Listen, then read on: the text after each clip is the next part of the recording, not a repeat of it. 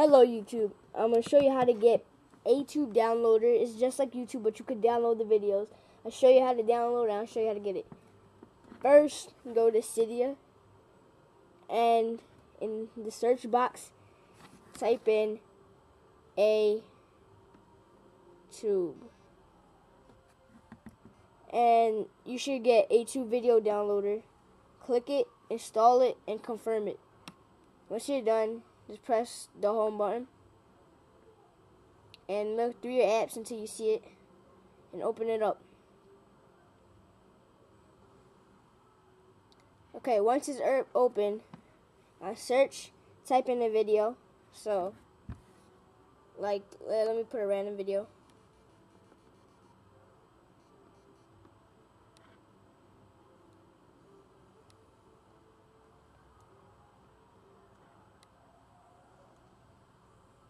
So you click the video that you want to watch. You either click watch or download.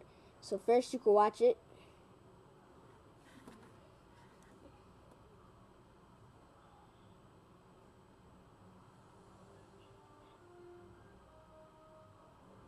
It doesn't go this slow, but I'm using this so it's off Wi-Fi. And when you when you're done with it, you can click done and you could download right here. So basically you click download and then once you're done go to downloads, then click it and then go to your videos. And it should be right here in your videos downloads.